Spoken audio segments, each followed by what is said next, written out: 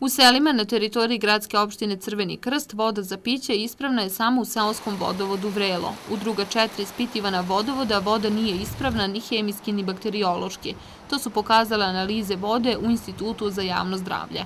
Preduzeli smo to za sada da prvo opomenemo naše sugrađane, naše građane, gde je to pronađeno, a sada preko instituta gledat ćemo da to rešimo na obostrano zadovoljstvo da se dođe do te zdrave pijaće vode. Zbog toga je i potpisan sporazum sa Institutom za javno zdravlje o uzorkovanju i ispitivanju vode. Ovo je posebno bitno za seosko stanovništvo koje čini dve trećine stanovništva ove opštine.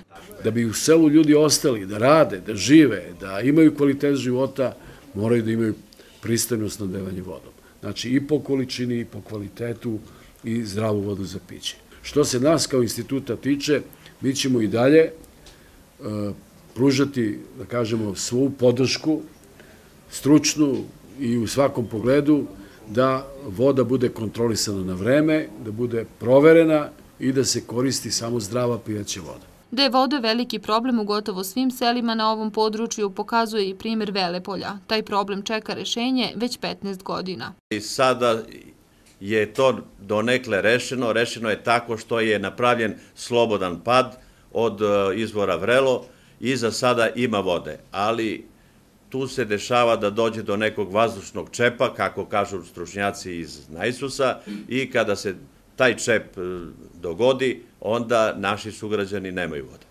Vodovod nikada nije bio potpuno ispravan, tako da ga nikada nije ni preuzeo gradski vodovod. Trajno rešenje je potpuna rekonstrukcija, što bi koštalo više od 20 miliona dinara, ali se još uvek ne zna kada će se to desiti.